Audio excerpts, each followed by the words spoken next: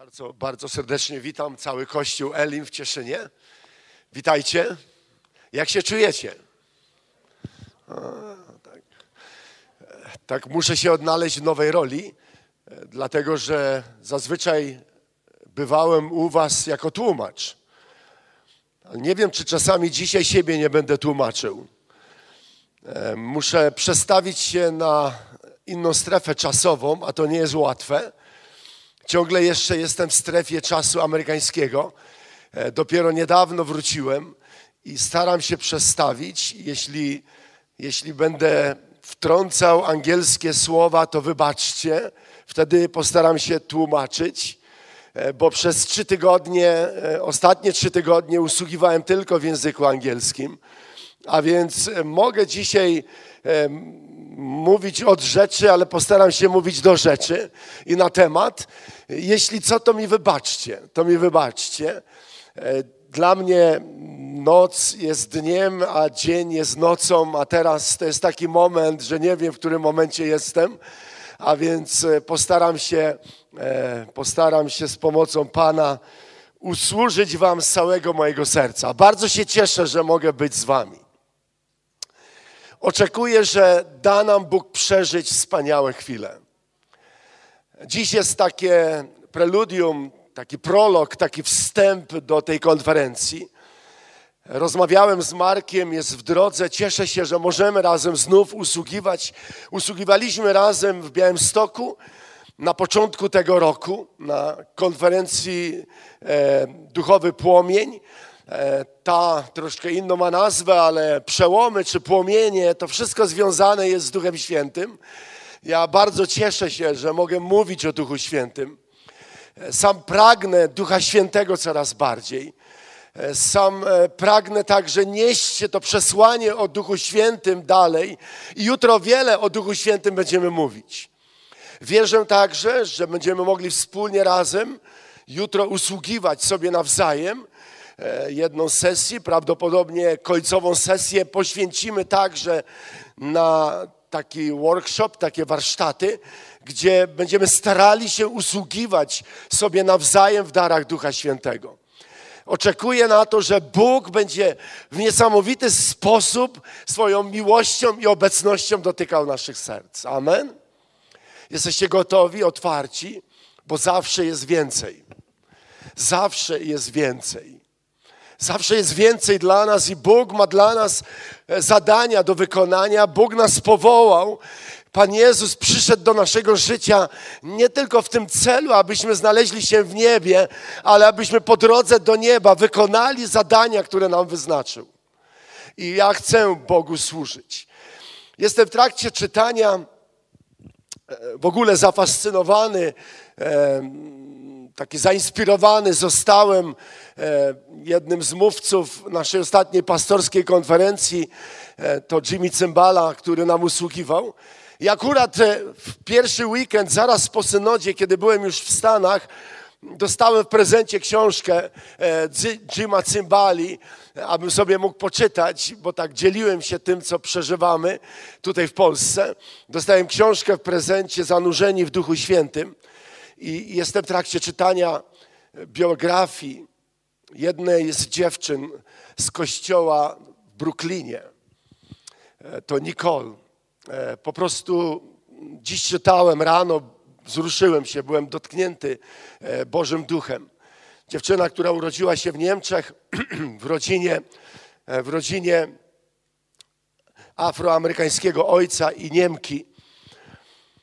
W wieku, w wieku 17 lat straciła matkę, która zmarła z przepicia alkoholowego a ona, e, siedemnastolatka, już była w modelingu, była piękną dziewczyną, wysoką, szczupłą, a więc e, zatrudniono ją od razu w modelingu i zaczęła pracować dla amerykańskiej firmy e, jako modelka. Zaczęła wchodzić w show biznes, stała się celebrytką. W wieku 23 lat wyemigrowała do Miami w Stanach Zjednoczonych, aby tam kontynuować swoją karierę.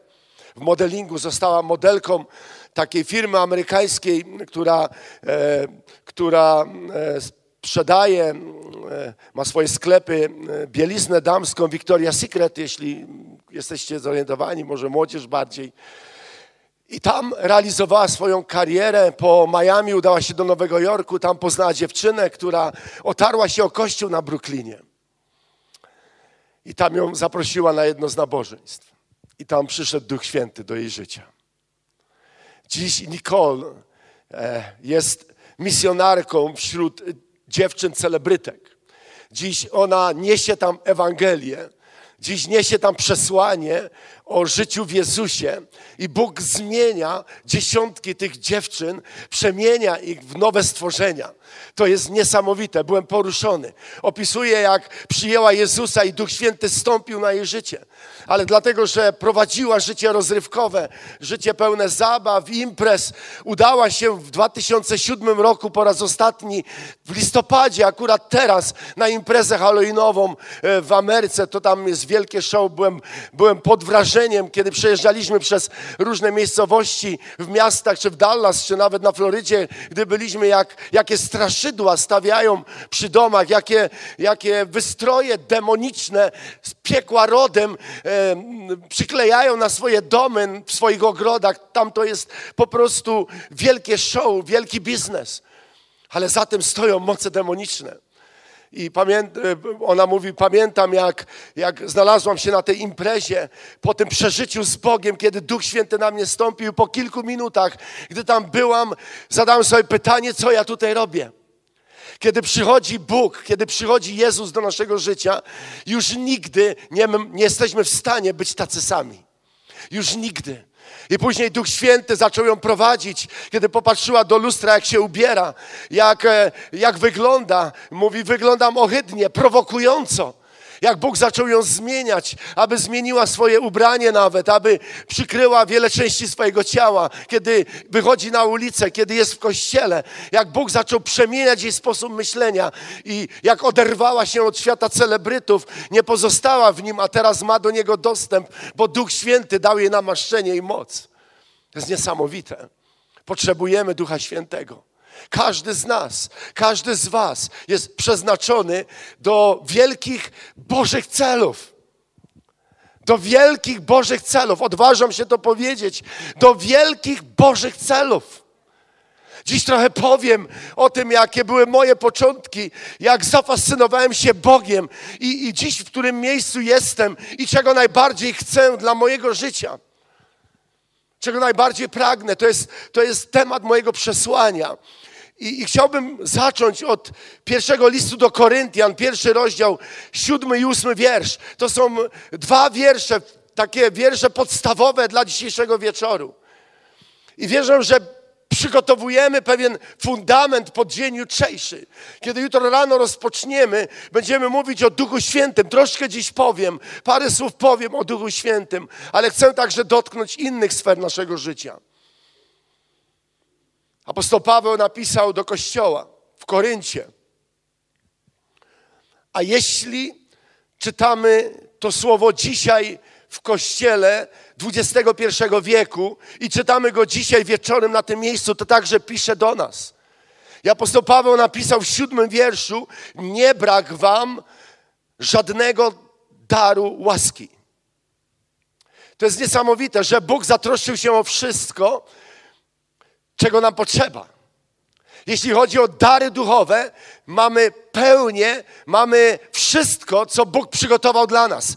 Nie brak wam żadnego daru łaski. Wam, którzy oczekujecie objawienia Pana naszego Jezusa Chrystusa, który też utwierdzi was aż do końca, tak iż będziecie beznagany w dniu Pana naszego Jezusa Chrystusa. To są te dwa wiersze. Pozwolę sobie zacytować jeszcze z tłumaczenia e, warszawsko-praskiej Biblii. I te wersety brzmią tak. Nie doznajecie tedy braku żadnej łaski, oczekując objawienia się Pana naszego Jezusa Chrystusa. On też będzie umacniał was aż do końca, byście byli bez zarzutu w dzień Pana naszego Jezusa Chrystusa to moje przesłanie skupia się na słowach, że Bóg pragnie nas umacniać w Duchu Świętym.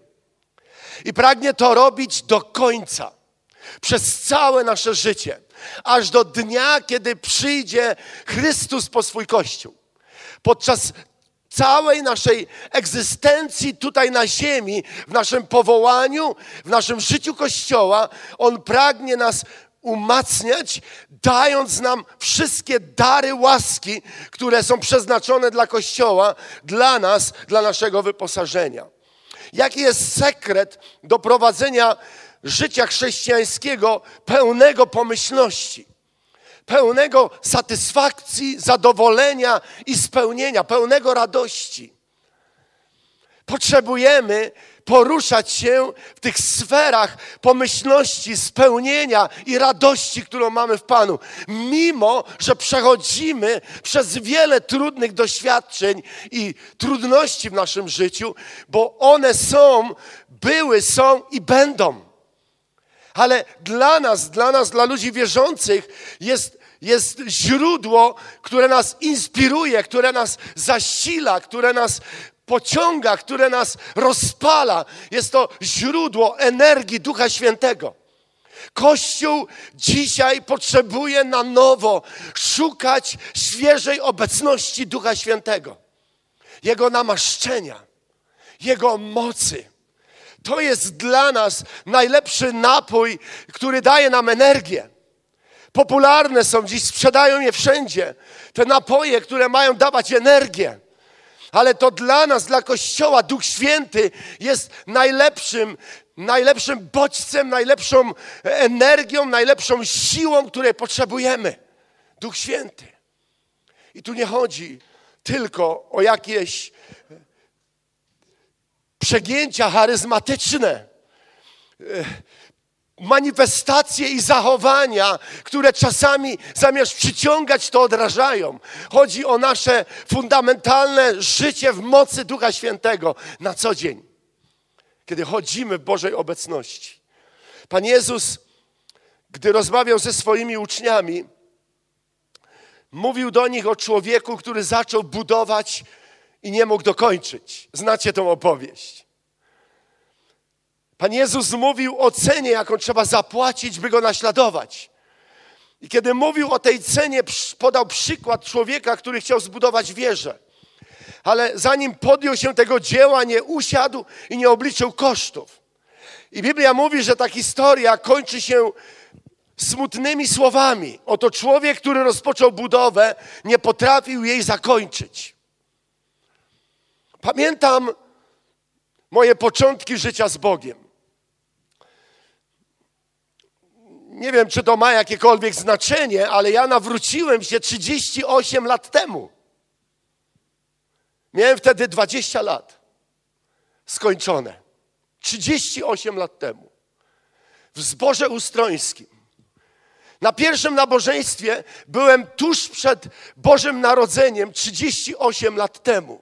Nawróciłem się 16 grudnia. Pamiętam, jakie od samego początku miałem pragnienie, aby służyć Bogu. To było ponadnaturalne, nieoczekiwane, to mnie samego zaskoczyło.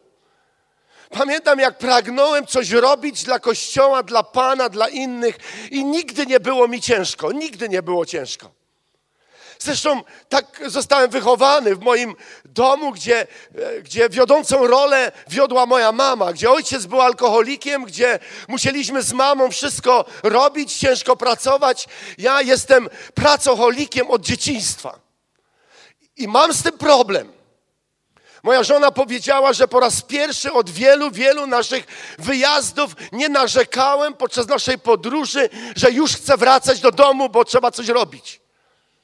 Pan Bóg też i mnie zmienia. Ale jestem pracocholikiem, ja, ja muszę coś robić. Mój przełożony Marek Kamiński, biskup, powiedział: Leszek, ty masz ADHD. Kiedy podróżuje ze mną, kiedy gdzieś tam jesteśmy, mówi: Ty nie usiedzisz na miejscu, ty się cały czas kręcisz. Ty musisz coś robić. Pamiętam, jak nie było mi ciężko, kiedy zimą zamarzł mi mały maluch 126p i grałem wtedy w grupie uwielbiającej, zacząłem grać na gitarze i pamiętam ci moi bracia, którzy już tam byli, mówili musisz być w niedzielę, bo ty będziesz grał. Nie było mi ciężko iść na piechotę 6 kilometrów w mrozie, aby złapać autobus w Skoczowie, dojechać do Ustronia. Nie było mi ciężko, aby być na nabożeństwie. Gdybym nie był, czy Pan Bóg by się pogniewał? Nie, absolutnie nie. Nie mogłem przecież odpalić samochodu. Ale coś było w moim sercu. Wiecie, gdy tak po tych wielu latach już służby myślę o tym i modlę się, to nie chciałbym, nie chciałbym, aby czym więcej, czym dłużej jestem w kościele, w Panu, czym dłużej Jemu służę, czym dłużej się poświęcam, nie chciałbym, aby w pewnym momencie to wszystko stało się nudne i monotonne. Chcę, aby Duch Święty umacniał mnie aż do końca. Nie chcę, aby moje lata koń, kończące moje życie czy służbę były latami monotonnymi, smutnymi, przygnębiającymi. Chcę czuć to spełnienie i to może dać jedynie Bóg, to może dać jedynie Duch Święty. Mam taką obietnicę, której chcę się uchwycić, że On będzie utwierdzał nas, mnie, Ciebie, nas wszystkich do końca. Duch Święty. Duch Święty nasz przyjaciel, nasz towarzysz, ten, który rozmawia z nami, ten, który nas prowadzi, ten, który nas pociesza, ten, który wnosi w nasze życie entuzjazm, ten, który rozpala nasze uwielbienie. Ja, ja chciałbym, ja chciałbym, aby nasze uwielbienie było rozpalone, było pełne życia, pełne dynamizmu, gdzie śpiewamy z radością, gdzie usta nam się nie zamykają i wielbimy Boga. Kiedy jest w nas ta pasja, która wynika z działania Ducha Świętego w naszym życiu. Dwa tygodnie temu zostałem poproszony, aby usługiwać w kościele etiopskim. Ci to potrafią. Albo coś, pomyślałem, albo ćpają, przed nabożeństwem, albo mają jakąś ponadnaturalną siłę, albo jest to ich, ich e, osobowość kulturowa, nie wiem, ale powiem wam, że kościół nie był wielki, on dopiero powstaje. Mieli niedawno pierwszą taką mini konferencję dla Etiopczyków, którzy mieszkają w Dallas i, i tam z nimi wielbić. Oj, to oni potrafią. Tam nie musi nikt grać. A oni po prostu aż płoną dziękczynieniem dla Boga. Oni mówią, że to Duch Święty. A ja myślę, że coś kulturowego w tym jest z Afryki. Ale prawda jest taka, że Duch Święty także nas pragnie rozpalać, pragnie nas napełniać tym entuzjazmem, tą radością, tą pasją. W Królestwie Bożym, Kościele, nie liczy się bowiem, jak zaczniemy, le lecz jak skończymy nasze dzieło. Jest to ważne.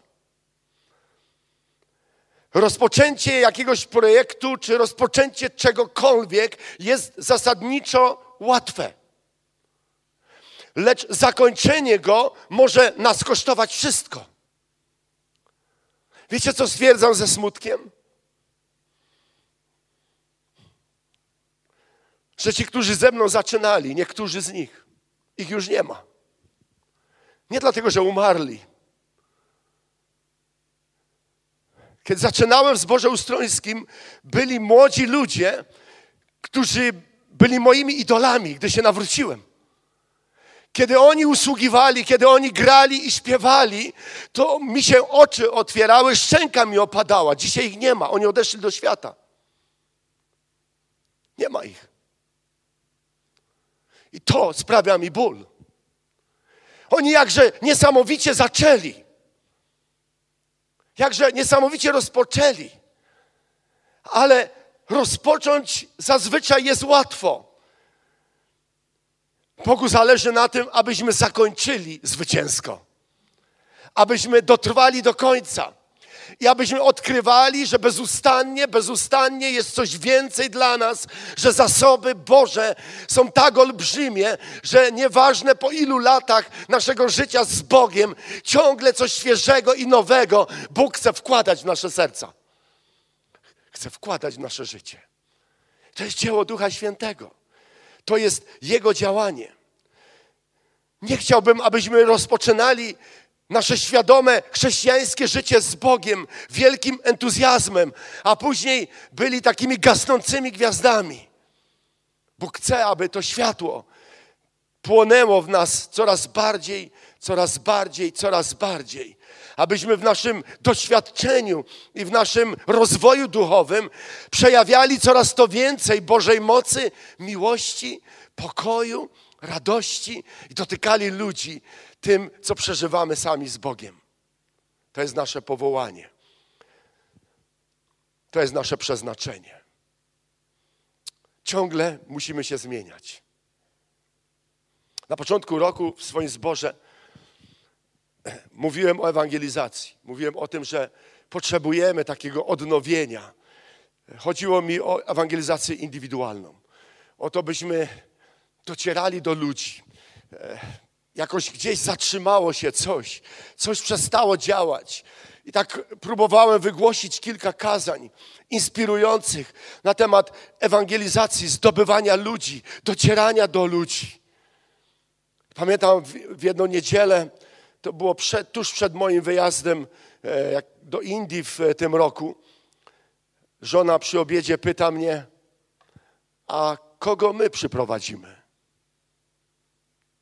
Wiecie, ktoś jakby mi szpilkę wbił. Przecież jestem ewangelistą. Ale żona mnie pyta, ale kogo my przyprowadzimy do kościoła? My. Wtedy taka lampka mi się zapaliła, że ja nie znam ludzi niewierzących. Ja ciągle jestem otoczony ludźmi wierzącymi. Ciągle w kościele, ciągle bracia, ciągle siostry, ciągle wierzący. E, wszędzie ich spotykam, wszędzie z nimi rozmawiam. I zacząłem się modlić i mówię, Boże, pozwól, aby przez moje życie ktoś się nawrócił, indywidualnie. Ktoś się nawrócił. Przed samym moim wyjazdem do Indii, pamiętam, byłem jeszcze na zakupach w naszym centrum handlowym Carrefour i, i spotkałem człowieka, który jest szefem ochrony.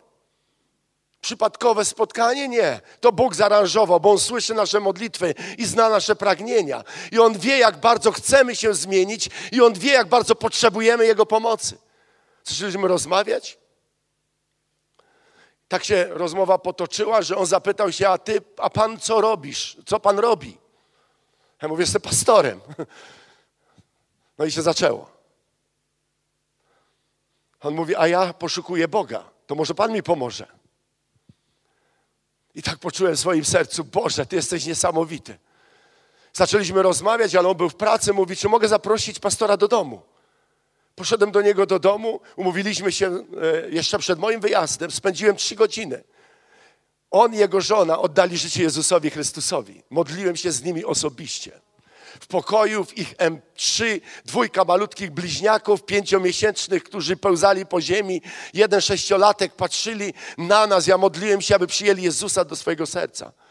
Kiedy wróciłem z Indii, pierwszy SMS, jaki otrzymałem, czy jest już pastor w domu? Odpisałem jestem, bo my chcemy błogosławić nasze bliźniaki, nie chcemy je chrzcić. Bóg chce bezustannie w naszym życiu działać. Dzisiaj Mateusz jest po chrzcie, a jego żona Joasia teraz będzie przystępowała do chrztu. Każdy z nas jest powołany, aby przyprowadzać ludzi do Chrystusa i w tym chce pomagać nam Duch Święty. A zatem, jak możemy ukończyć ten bieg jak możemy ukończyć nasze życie z sukcesem, z błogosławieństwem? Jak możemy pozostać niewzruszeni i mocni aż do końca? Jak możemy pokonać tą trasę, którą wyznaczył nam Bóg? Tylko i wyłącznie przy pomocy Ducha Świętego. Jutro będziemy mówić o tym, jak mamy głosić pełnego Chrystusa, który nie tylko zbawia, uzdrawia, ale chrzci Duchem Świętym.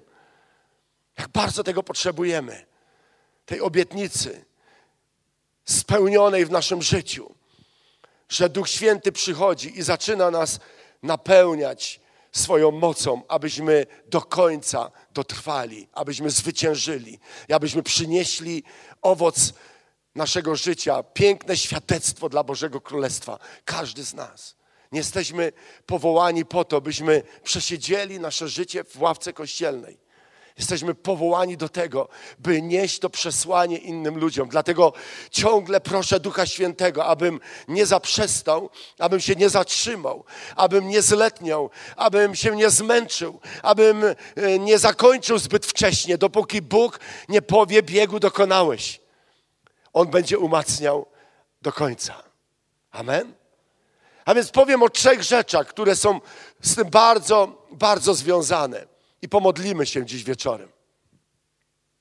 Po pierwsze, to jest nasza odpowiedzialność. Na pewno przeczytaliście wiele razy o naszej odpowiedzialności, o której mówi apostoł Paweł.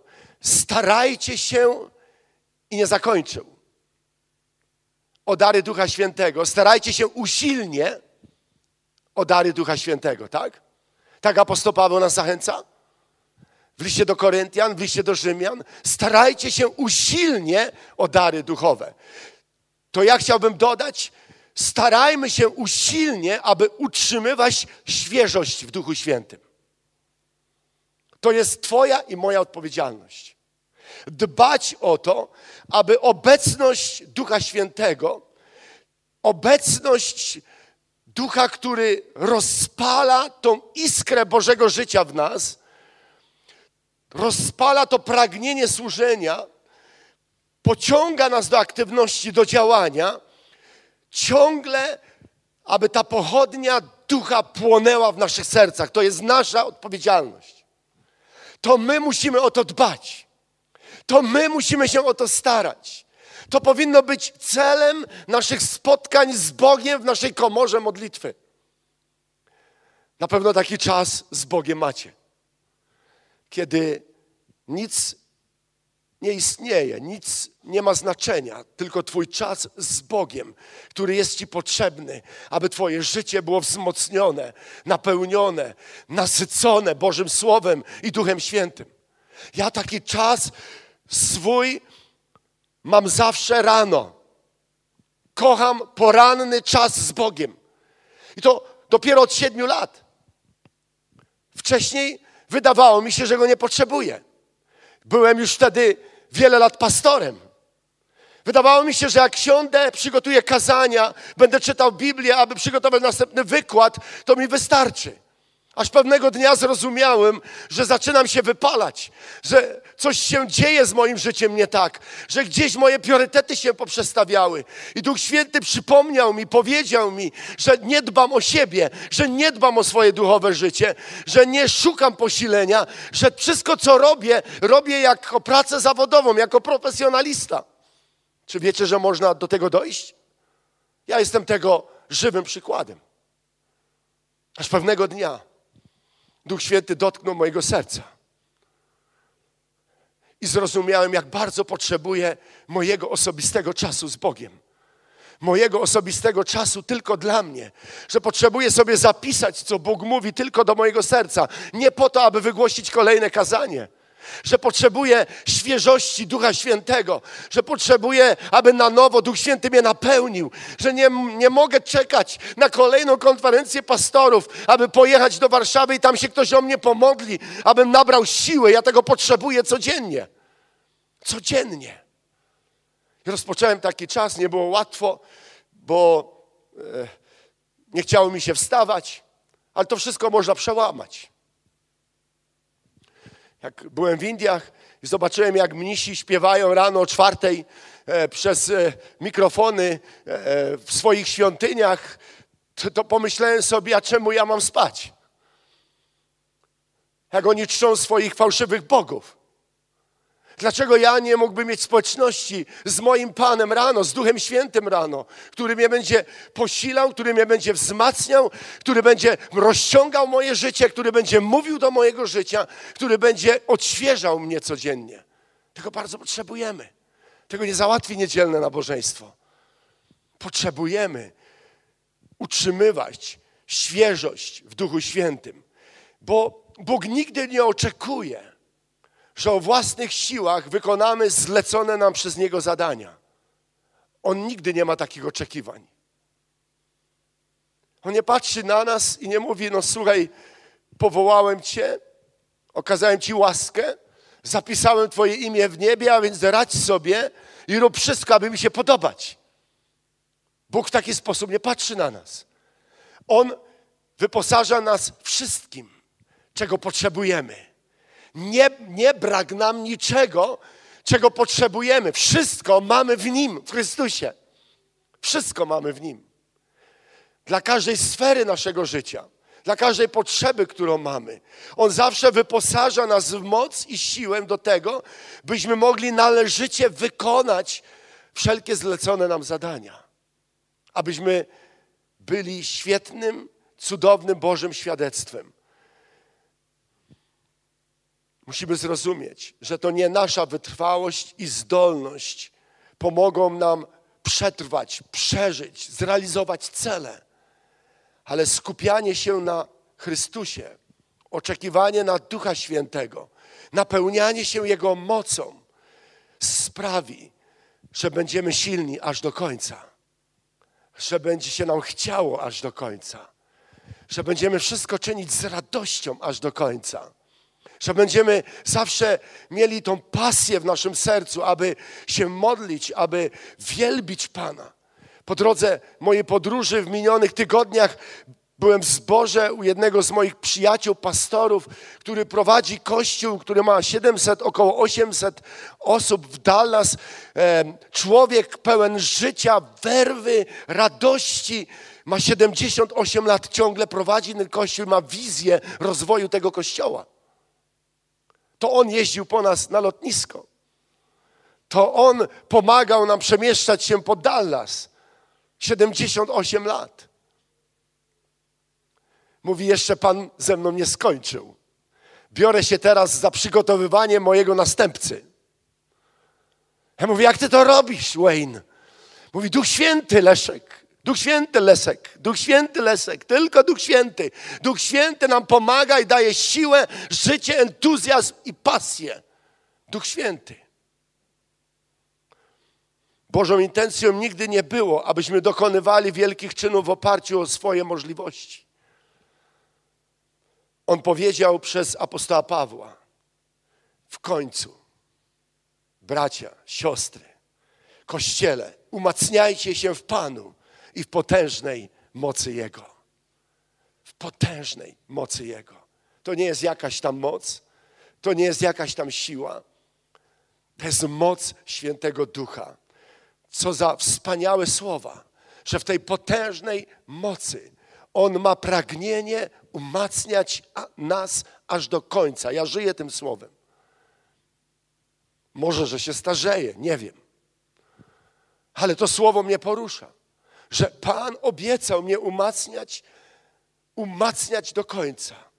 Choćby stanęły mi na drodze największe wyzwania i przeszkody, to jednak mam obietnicę, że On mnie zachowa od jakiegokolwiek upadku.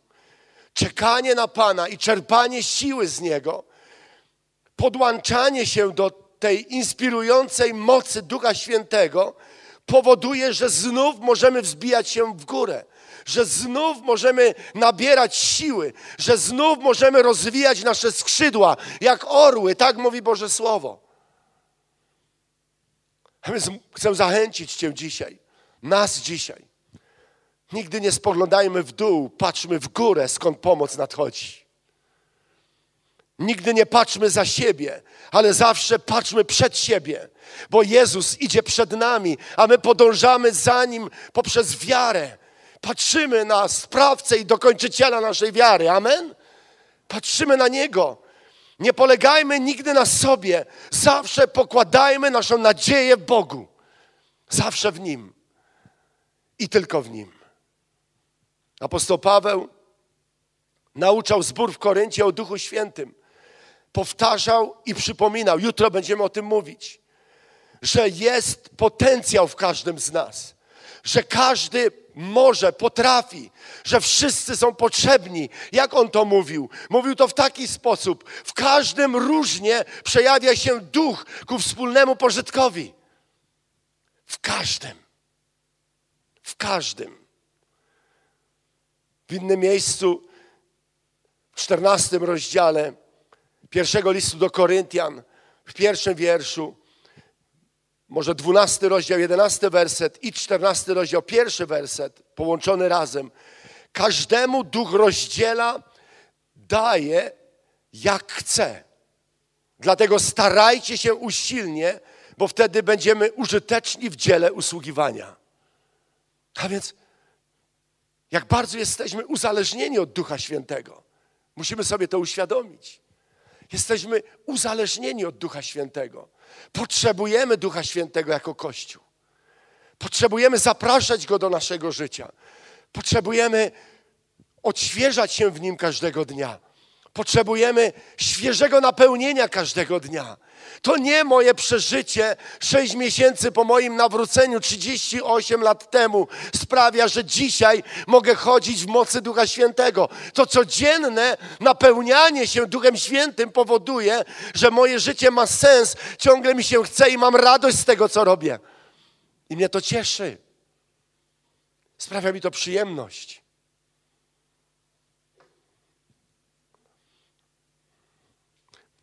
mówić o Nim, wielbić Go, modlić się, przeżywać Jego obecność. Gdziekolwiek, wszędzie, w jakimkolwiek miejscu.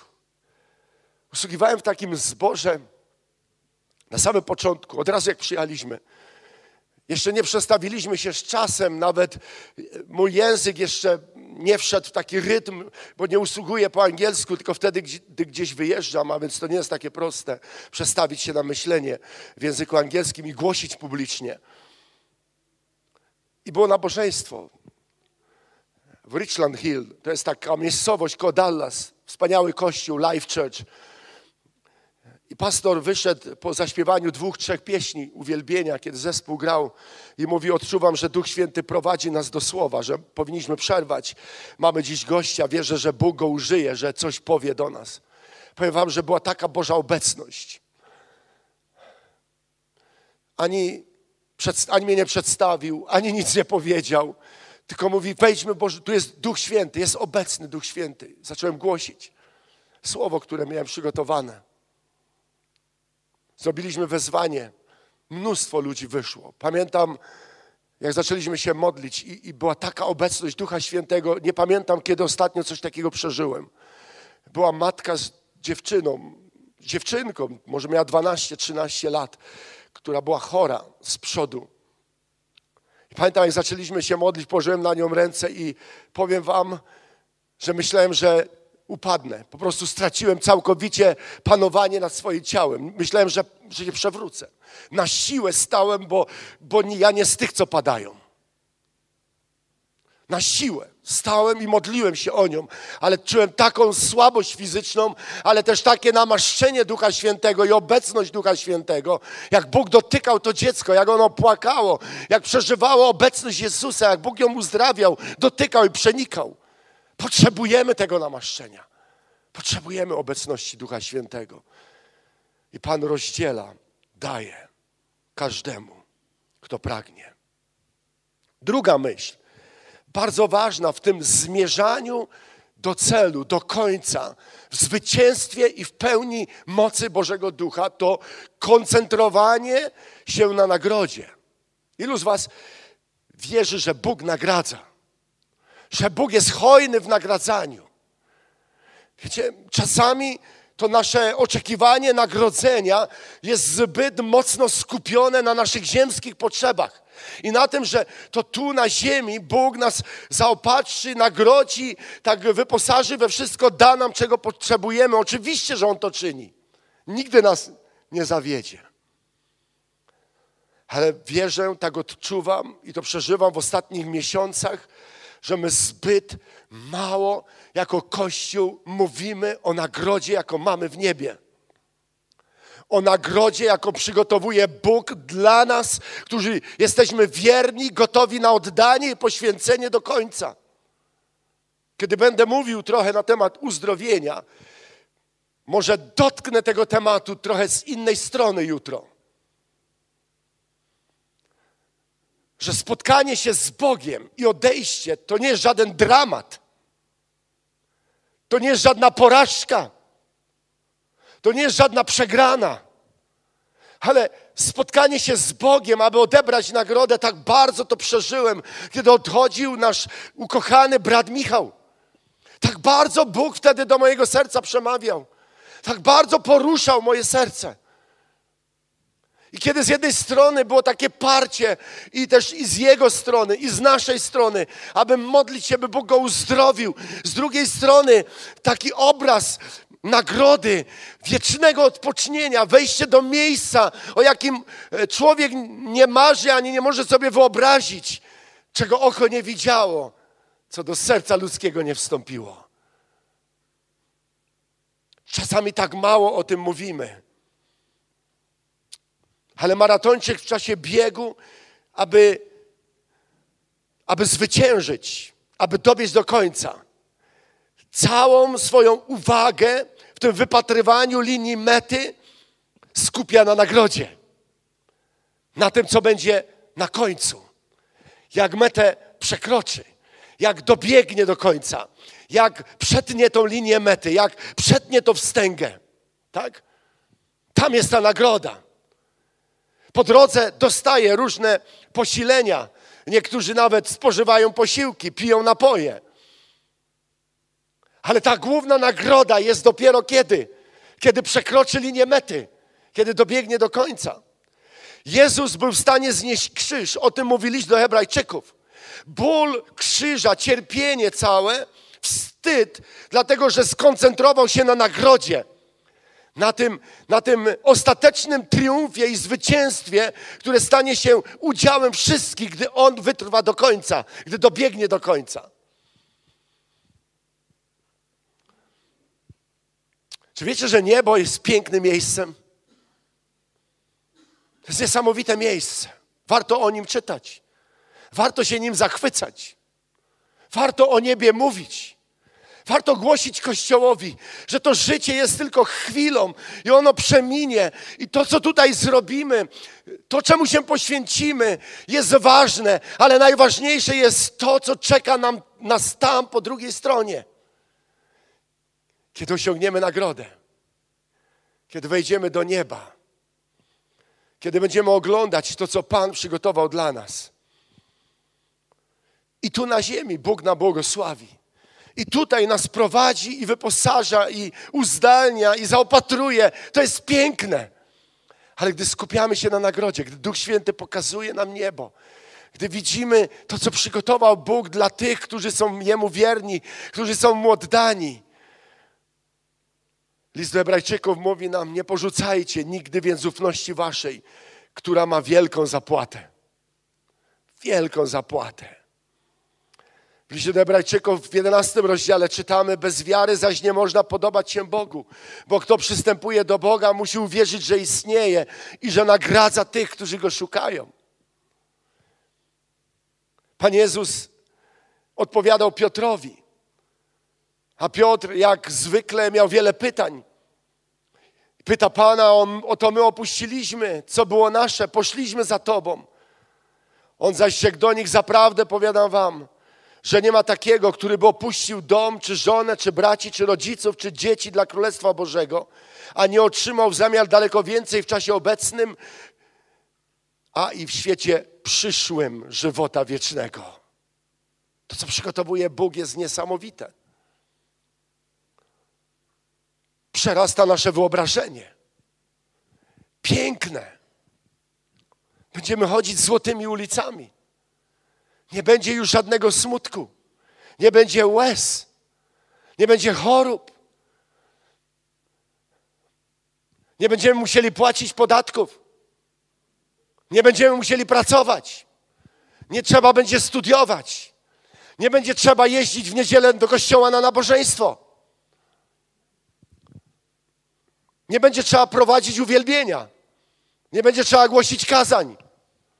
Będziemy bezustannie wielbić Pana z zastępami aniołów, z chórami anielskimi. Będziemy przebywać w Bożej obecności. Pan Jezus będzie pośród nas. Będziemy poznawać ludzi, e, których e, Duch Święty zdobył na całym świecie. Będziemy poznawać naszych braci i siostry z Indii, których pomaga, którym pomagamy. Będziemy z nimi rozmawiać, jak to było podczas naszej ziemskiej podróży i jak myśmy starali się Wam pomóc, abyście się nawrócili, a Wy przyjęliście Jezusa. Dziś jesteśmy tutaj razem. To jest piękne miejsce.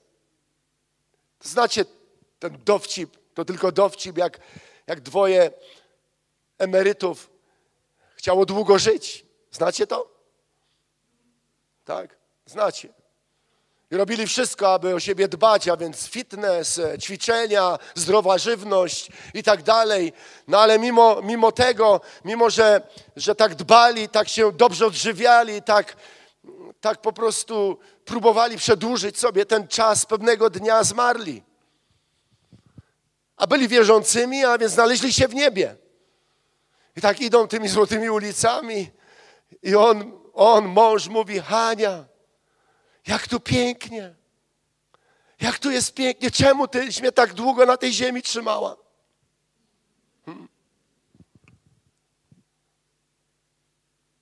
Piękne miejsce, nagroda, dlatego warto. Niech pomoże nam Duch Święty. Niech napełnia nas Duch Święty. Niech wyposaża nas Duch Święty, abyśmy doszli do końca, abyśmy byli umocnieni przez Niego aż do końca, aby nikogo z nas, jak tu jesteśmy, nie zabrakło tam po drugiej stronie. Amen? Abyśmy tam wszyscy mogli później wielbić Pana, dziękując Mu za całe nasze życie, które dał nam tutaj przeżyć na ziemi i za to, co udało nam się wykonać. I ostatnia myśl. To jest bardzo ważne. Ja wiem, że jest taka tendencja w kościele, z którą ja się w ogóle nie zgadzam, aby nie mówić w kościele o grzechu, bo to zniechęca ludzi. A jakże mam nie mówić o grzechu, jak Biblia o nim mówi? Trzymajmy się z dala od grzechu. To jest jeszcze jedna moja myśl na dzisiejszy wieczór.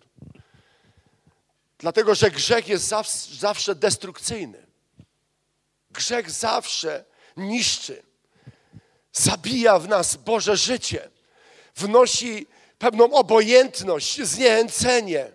Okrada nas sił. Jeśli chcemy wygrać ten rozpoczęty bieg,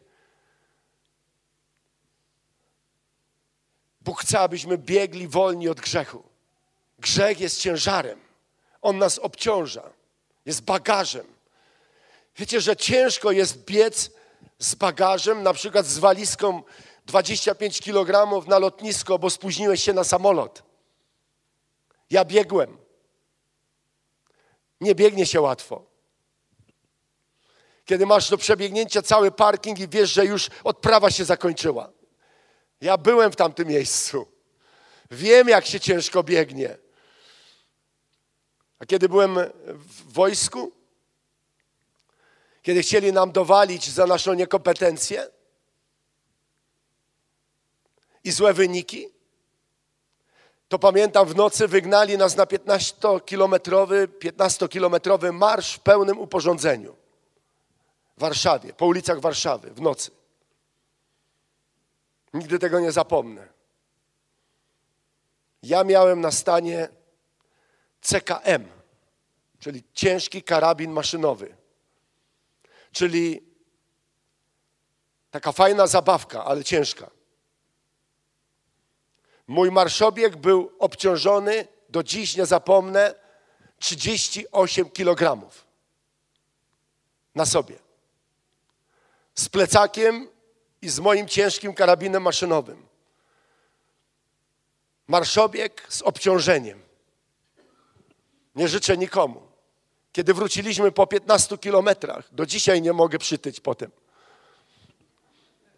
Kiedy wróciliśmy po 15 kilometrach, pierwszy raz widziałem, że coś takiego może pojawić się na ciele, czyli grudki soli pod mundurem Moro. Z potu. Pot zamienił się w grudki soli. Widziałem na własne oczy. Nie uwierzyłbym, jakby ktoś mi o tym mówił. Niełatwo jest biec z obciążeniem. To nie znaczy, że wracamy pod jakiś zakon i teraz narzucamy sobie pewny, pewien rygor. Nie. Oznacza to, że wybieramy życie w mocy danej nam przez Boga zbawienia. Że nie musimy chodzić z obciążeniem, i ulegać różnym wpływom grzechu na nasze życie. Bo moc krwi Jezusa, która uwalnia nas od grzechu, ciągle działa i oczyszcza nas i usuwa wszelkie symptomy grzechu w naszym życiu. Możemy mieć czyste myśli. Możemy mieć zdrowe, czyste pragnienia. Możemy mieć zdrowy język i prawidłowe postępowanie. Możemy mieć. Bóg nas do tego uzdalnia. Jak to zrobić? To jest bardzo proste. Wybieram życie w cieniu krzyża. Dokonuję wyboru. Wybieram życie w cieniu, w cieniu krzyża. Chcę chodzić w świetle Golgoty. I za każdym razem, kiedy przychodzi mi się mierzyć z pokusami, z wyzwaniami w życiu, przypominam sobie o miejscu, w którym jestem i proszę Ducha Świętego, aby mi objawiał siłę, którą mam, aby odeprzeć wszelkie ataki złego. Każdy z nas jest podatny na pokusy. Każdy z nas jest pod presją. Diabeł nie jest na urlopie ani na wczasach i nie pozostawił nas sobie o tak, bo się nawróciliśmy. To teraz niech sobie żyją w tym kościele. Trudno, straciłem gościa, straciłem tą dziewczynę, straciłem tego chłopaka. No, mam jeszcze wielu innych. Nie, on nie chce, nie chce, aby ktokolwiek był zbawiony. Jego celem, tak jak celem Bożym jest, aby wszyscy ludzie byli zbawieni, to Jego celem jest, aby wszyscy ludzie byli potępieni, aby byli zniszczeni, aby byli zwiedzeni przez moce ciemności. Ale my możemy dać Mu odpór. Amen. I w tym pomaga nam Duch Święty. Sami jesteśmy zbyt słabi. Nie potrafimy. Nasze myśli, nasze pożądania, nasze pragnienia cielesne, które się ciągle gdzieś tam pojawiają. Po prostu wiele razy nie jesteśmy w stanie nad tym zapanować, ale kiedy Duch Święty przychodzi i napełnia nas, kiedy napełnia nas Boża moc, kiedy napełnia nas Duch Święty tą siłą, której potrzebujemy, by dać odpór diabłu. Dlatego nie, nieprzypadkowo apostoł Paweł pisze w szóstym rozdziale w liście do Efezjan – o umacnianiu się w tej sile Pana, kiedy mówi o zmaganiach, o walce z mocami ciemności, z siłami, które rządzą w powietrzu, kiedy mówi o zbroi Bożej, kiedy mówi o odpieraniu złego, o mieczu ducha, o, tarczy, o tarczy wiary, kiedy mówi, jak ważne jest to, byśmy stali mocno w Panu. W tym pomaga nam Duch Święty. Tym pomaga nam sam Bóg. Dlatego powinniśmy Go pragnąć powinniśmy pragnąć Ducha Świętego, abyśmy mogli wieść zwycięskie życie i abyśmy mogli wytrwać do końca. Niektórzy z Was dopiero rozpoczynają. Dla niektórych z Was bycie 38 lat wierzącym to jakaś abstrakcja. Jak pomyślicie o tym, to sobie już wyobrażacie, jak będziecie wyglądać za tyle lat. To nie ma znaczenia. Najważniejsze jest to, w którym miejscu będziemy w Panu, w którym miejscu będziemy w Chrystusie. Czy będziemy mogli powiedzieć, życie jest coraz piękniejsze, życie jest coraz wspanialsze. Kiedy zaczynałem, było tak świetnie ale teraz po latach widzę, że Bóg tyle jeszcze dla mnie ma, że Bóg tak bardzo jeszcze rozszerza moje życie, rozciąga to życie i pokazuje, że jest więcej, jest ciągle więcej, jest ciągle więcej w Jego Królestwie do osiągnięcia i do przeżycia. I to sprawia, że życie z Bogiem poprzez Ducha Świętego jest wielką, radosną pasją i przygodą, która nigdy się nie nudzi która sprawia, że każdy dzień jest lepszy niż miniony. Amen? To jest piękne w Jezusie. I w tym pragnie pomagać nam Duch Święty. Pragnie nas wzmacniać. Chciałbym, abyśmy się dziś o to pomodlili. Abyśmy dzisiaj stanęli przed Panem na chwilę. Jutro będziemy mieli konferencję. Będziemy już tematycznie mówić o Duchu Świętym. Ale także nie będą to jakieś sztywne teologiczne wykłady, bo, bo nauczania o Duchu Świętym mamy dość. Myślę, że potrzebujemy takiego świeżego, proroczego objawienia o Duchu Świętym. abyśmy Go zapragnęli jako naszego przyjaciela, towarzysza życia, kogoś, kto jest, obecny przy nas każdego dnia, w każdej chwili, w każdym momencie, kiedy potrzebujemy Jego pomocy. Pomódlmy się dzisiaj, abyśmy mogli być odświeżeni w Duchu Świętym. Pomódlmy się dzisiaj, aby Pan pokazał nam, że warto, na nowo uświadomił nam, że warto, że jest wielka nagroda w niebie, że przygotował Bóg niebo dla nas. A może ktoś potrzebuje dziś stanąć przed Panem i powiedzieć: Panie, tak nie, nie radzę sobie, Panie, pomóż mi. Tak nie radzę sobie z jakimiś myślami, e, krzeszę w myślach, a może mam jakieś porządliwości, z którymi sobie nie radzę. Coś, co kontroluje moje życie. Panie, pomóż mi to złamać. Ja chcę być wolny. Duchu Święty, przyjdź. Przyjdź, Duchu Święty, pomóż mi. Duch Święty ci pomoże. Bóg ma dla ciebie wielki plan. Duch Święty pragnie działać w Twoim życiu. A może ktoś nigdy nie przyjął jeszcze świadomie Jezusa. Może ktoś potrzebuje dziś powiedzieć: Panie, oddaję się Tobie tak w stu procentach, całkowicie. Tak jak Nicole, ta modelka, oddaję się, Panie, Tobie w zupełności. Zostawiam wszystko, co robiłem, co myśl, jak myślałem, moje pragnienia, które miałem, zostawiam wszystko, aby pójść za Tobą. Powstańmy, aby się pomodlić. Nie wiem, czy mogę prosić muzyków, abyście przyszli tutaj do mnie. Halleluja. Chcielibyśmy uwielbiać Pana przez chwilę. Chcielibyśmy oddać Mu chwałę. Chcemy Go wywyższyć. Pozwólmy, aby Duch Święty nas pociągnął przed Boży Tron z uwielbieniem, z dziękczynieniem. Pozwólmy, aby Duch Święty tak na nowo pobudził naszego ducha, nasze serca, byśmy mogli oddać Mu chwałę, należytą chwałę. On jest godzien chwały. I kiedy będziemy śpiewać, na pewno macie jakąś pieśń przygotowaną. Gdy będziemy teraz śpiewać, wznieśmy nasze ręce. Tak e, chcemy zatracić się przez chwilę w uwielbieniu. Chcemy zatracić się w takiej modlitwie dziękczynnej, aby podziękować Jezusowi za Jego dzieło zbawienia. Podziękować Bogu Ojcu za Ducha Świętego, którego posłał gdy Pan Jezus poszedł do nieba, wykonując swoje dzieło odkupienia. Aby też powiedzieć Duchu Święty, bardzo Ciebie potrzebujemy. Bardzo potrzebujemy Twojej obecności, Twojego napełnienia. Potrzebujemy tej świeżości w Duchu Święty, w Tobie. Chwała Ci, Jezus. Zaśpiewajmy razem. Wznieśmy nasze ręce. Oddajmy Bogu. Ci, Jezus. Dziękujemy Ci, Panie. Chwała Ci, Królu. Zaufaj serce me, Pan Twój Bogiem jest, to w Jego rękach jest życie Twe.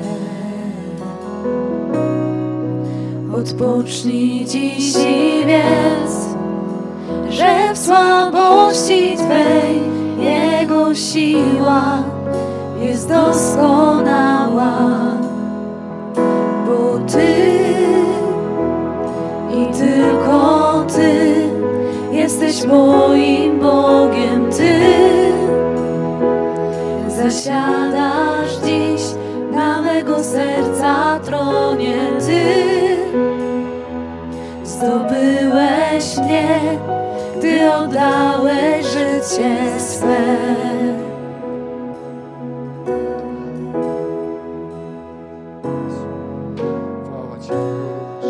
Zaufaj serce me, Pan Twój Bogiem jest, to w Jego rękach jest życie Twe. Odpocznij dziś i wiedz, że w słabości Twej Jego siła jest doskonała. Chcemy odpoczywać w Jezusie. Bo Ty i tylko Ty jesteś moim Bogiem. I zanurzy nas w obecności Ducha Świętego dziś wieczorem. Dziękujemy Ci, Panie. na mego serca tronie Ty. Tylko Ty, Panie nasz. Zdobyłeś mnie. Chwała Ci, Królu. Ty oddałeś życie swe. Panie, tylko Ty. Jakże pragniemy Ciebie, Jezus.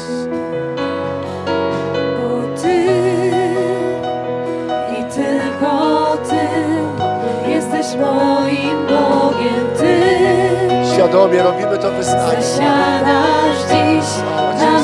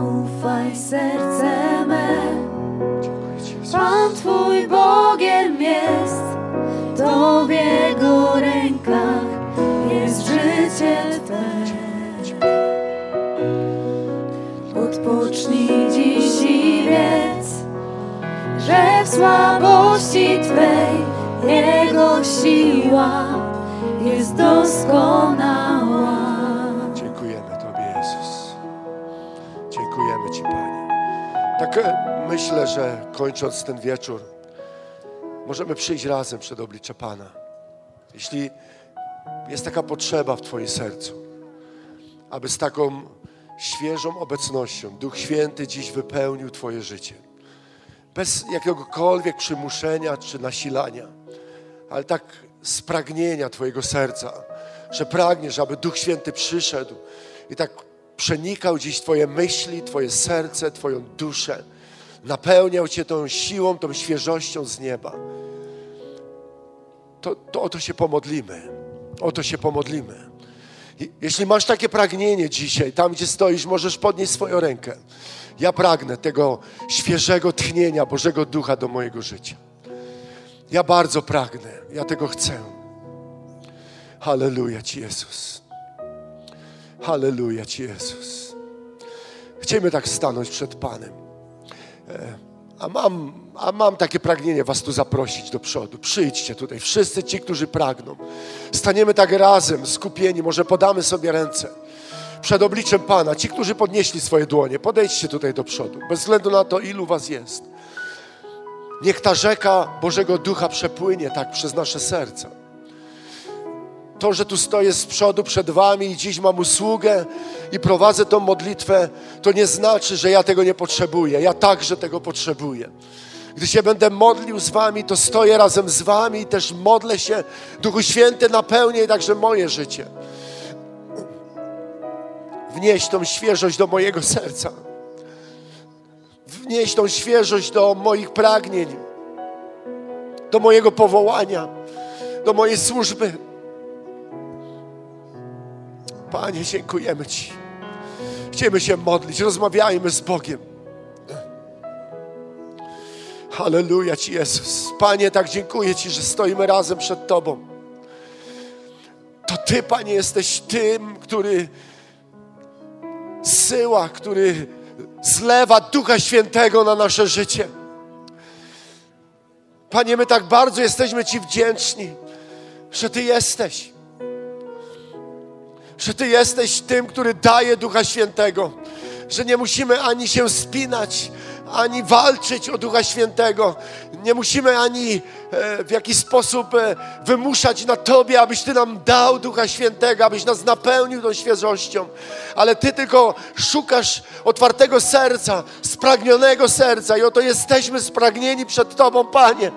Oto stoją przed Tobą spragnione kobiety, spragnieni mężczyźni. Panie, stoimy przed Tobą i pragniemy, aby teraz Duch Święty tak dotknął nas. Panie, dotykaj teraz. Takie płomyki Ducha Świętego niech wstępują na każdą głowę. Panie, tak jak w dzień Zielonych Świąt, w dzień Pięćdziesiątnicy, kiedy Duch Święty przyszedł i te płomyki ognia spoczęły na każdym. Panie, niech teraz wstępują na nas, niech napełniają nas. Panie, tak z radością otwieramy nasze serca. Zacznij wielbić Boga, zacznij Mu dziękować za Ducha Świętego. Wznieś swoje ręce, otwórz swoje usta i powiedz: Panie, dziękuję Ci, że dajesz Ducha Świętego bez miary do mojego życia. Panie, dziękuję Ci. Ja wierzę, że dziś wieczorem w takim, w takim delikatnym powiewie Duch Święty wstępuje do naszych serc. Wstępuje do naszych serc. Halleluja Ci, Jezus tak widzę w takim duchowym widzeniu, że niektórzy z nas tutaj stojący byliśmy tylko takimi malutkimi strumykami, które płynęły gdzieś tam pośród tego całego zepsutego i wyschniętego z grzechu świata, ale Bóg zaczyna rozszerzać te szczeliny. Rozszerza te szczeliny teraz. I tak w tym widzeniu widzę, jak życia niektórych z Was zaczynają płynąć szersze strumienie, zaczynają płynąć szersze rzeki takiej wody żywej, która dociera teraz, która dociera teraz do tych, którzy giną, dociera do tych, którzy umierają z powodu grzechu, dotyka ich i uzdrawia ich życie. Panie, dziękuję Ci za Ducha Świętego, którego posyłasz. Dziękuję Ci, że możemy wierzyć w czas duchowych przełomów w naszym życiu. Panie, dziękujemy Ci, że są duchowe przełomy w naszym życiu. Panie, że każdego, każdego dnia możemy coś nowego, świeżego przeżywać z Tobą, Panie. Dziękujemy Ci, Jezus. Halleluja. Dziękujemy Ci, Jezus.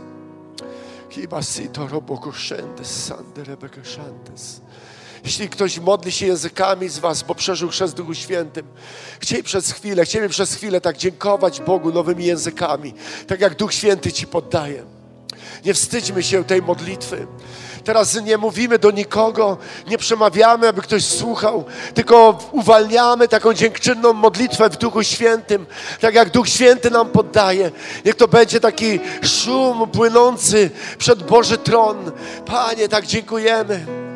Halo basinde lebeka shade rebeka shando sode rebeka shindo sande Panie, dziękujemy Ci, że teraz napełniasz nas taką świeżą obecnością Ducha Świętego. Panie, że tak e, napełniasz nasze usta modlitwą dziękczynną w duchu, że Panie poruszasz nas. Panie, dziękujemy Ci za to, że wzmacniasz nas, że teraz oczekując na Ciebie nabywamy siły.